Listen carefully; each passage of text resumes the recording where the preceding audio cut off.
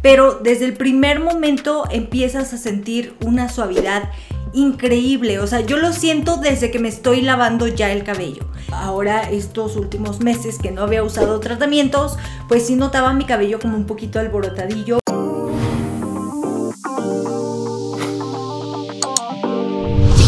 Espero todos se encuentren muy pero muy bien. Yo soy Nadia y el día de hoy les tengo este video en donde vamos a platicar de cómo aplicar, cómo hacer este tratamiento nuevo para el crecimiento del cabello con menta. Así que si no quieres perderte ningún detalle de este video, sigue viendo. Bueno, chiqui babies, pues la semana pasada les compartí cómo es que la menta ayuda a nuestro cabello. Y les voy a estar dejando ese video por algún lugar de la pantalla. Estoy como muy encandilada con ese aro. Eh, ok, voy a tratar de concentrarme solo en la cámara, pero como que... Y hoy llegó el día de enseñarles o mostrarles cómo es que se va a preparar este nuevo tratamiento y cómo lo voy a aplicar. Así que sin tanto hablar, vámonos con el proceso, cómo es que realicé este nuevo tratamiento para el crecimiento del cabello. Para este tratamiento lo único que necesitamos son 20 hojas de menta, esta puede ser fresca o seca, y agua. ¿Cuánta? Yo voy a estar utilizando dos tazas, que aproximadamente es lo que me dura para una semana, o sea, está refrigerándola y todo, y de preferencia que sea el agua de la que tomas. Preparar esto es lo más sencillo, solo vamos a hervir el agua y cuando esté hirviendo vamos a agregar esas hojitas de menta, vamos a dejar que el agua y las hojas hiervan unos 5 minutitos, tapamos para que se conserven todas sus propiedades y apagamos el fuego una vez que hayan pasado esos 5 minutos. Una vez que el agua se haya enfriado o este tónico se haya enfriado, van a quitarle las hojas de menta, en este caso yo lo colé. No cometan el error que yo cometí porque tiré casi la mitad. Al final tiré casi la, bueno, no tanto, pero sí tiré bastantito producto y después lo hice en ese vaso porque de ahí lo voy a pasar a un atomizador que es en donde yo lo voy a estar utilizando. Miren, ahí lo vuelvo a tirar otra vez, pero bueno, no importa. De esas dos tazas que yo hice, eh, me van a salir aproximadamente dos atomizadores y medio, o sea, para casi tres días, si no es que para los tres días completos. Y ese, justamente ese que están viendo, ya nada más lo voy a reservar, lo voy a guardar en un frasco para que se mantenga en refrigeración hasta que lo vuelva a utilizar. Bueno Nadia, ¿y ahora cómo lo aplico? ¿Qué tengo que hacer para que mi cabello obtenga esos beneficios? Bueno, pues yo lo que hago y lo que se me facilita mucho más, porque a pesar de que, fíjense que siento que ya no tengo tanto cabello como antes, eh, sí siento que todavía tengo una buena cantidad, entonces lo que hago es hacer pequeñas particiones y voy aplicando la mayor cantidad o que se concentre mucho más el producto en la raíz. Ya después voy bajando hacia todo el cabello, cepillo un poco para que se esparza muy bien el tónico, pero me concentro mucho más en la raíz y así voy a ir bajando pequeñas secciones, voy a ir mojando bien mi cuero cabelludo, después bajo a todo el resto del cabello y así sucesivamente parto el cabello o hago particiones, me aplico el producto, eh, cepillo para que todo el cabello absorba el líquido y ya una vez que haya terminado con todo, todo el cabello, vamos a hacer un masaje. ¿Y para qué el masaje? Bueno, yo les había dicho en el video de beneficios, en este y en la mayoría de tratamientos que son justo así, bueno, no, en realidad en todos los tratamientos que son para el crecimiento del cabello se hace un masaje para que la circulación sanguínea aumente o, que sí tengamos esta circulación sanguínea que va a lograr que haya un crecimiento saludable del cabello. No es que con esto sea mucho más rápido el crecimiento, no es que con esto vayas a ver un resultado de un día para otro, pero sí ayuda, sí ayuda a que, a que haya una mejor circulación sanguínea en el cuero cabelludo y con esto estemos favoreciendo justamente el crecimiento.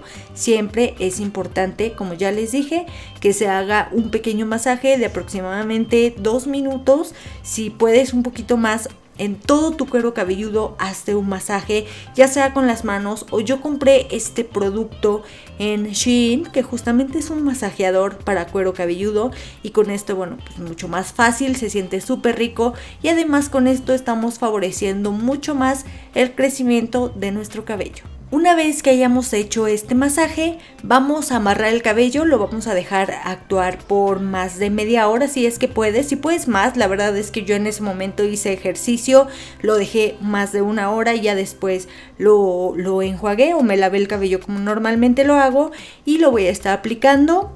Eso se los digo justamente en los siguientes clips. Pero es todo lo que se tiene que hacer.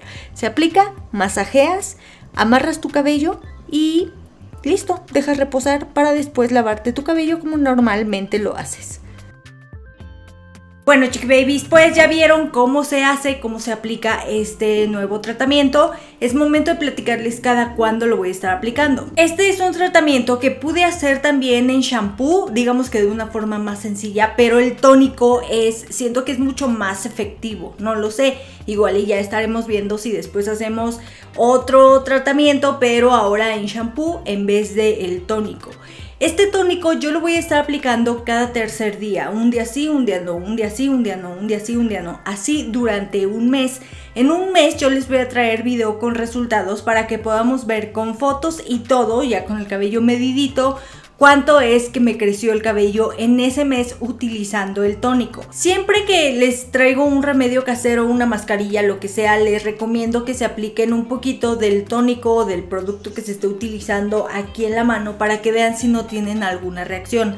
Si es que no tienen ninguna reacción, si no tienen comezón, si no les arde, pueden aplicarse el tratamiento sin ningún problema. Pero si sí, aguas porque quizá pueden ser alérgicos a la menta, que pues sí, es lo más lógico que sean alérgicos a la menta, que simplemente no les caiga bien en su piel. Y si lo aplican en el cuero cabelludo, pues van a tener esa misma reacción. Así que tengan cuidado, si tienen esa reacción, mejor no lo apliquen. Ahora, ya tomé la foto inicial de espaldas para que podamos ver en un mes qué se ve la diferencia. Pero desde un tratamiento anterior para acá empecé a hacer esto y esto lo quiero seguir haciendo porque voy a medir mi cabello con una cinta métrica para que sea mucho más, em, mucho más claro el resultado. Lo que voy a hacer es que voy a tomar un mechoncito de mi cabello, lo pego completamente a la raíz, aquí en donde está la línea justamente, ahí está pegadita y mi cabello mide